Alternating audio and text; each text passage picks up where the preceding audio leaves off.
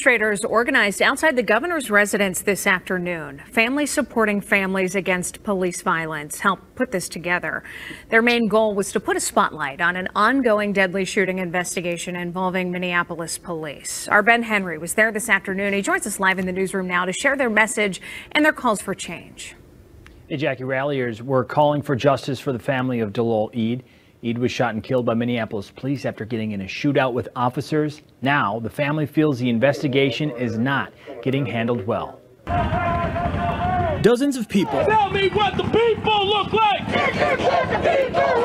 Organizing and marching outside the governor's residence to make their message clear. We need to be treated like we are human beings. We need the people that are in the political seats that have a chance to make a change, to meet with our families, to correct and to work on some of the things that they have failed and done wrong in the past. We cannot continue the same pattern and think that we are going to get different results. We already told you we guilty. The main goal of the afternoon was to remind people of Dolal Idd. The 23 year old was shot and killed by Minneapolis police after getting in a shootout with officers in December. They have to stop here. Idd's father, surrounded by community leaders, said the family has been left in the dark as they continue to investigate his son's death. We need a justice and we will need equality and rights. Stand up, fight back.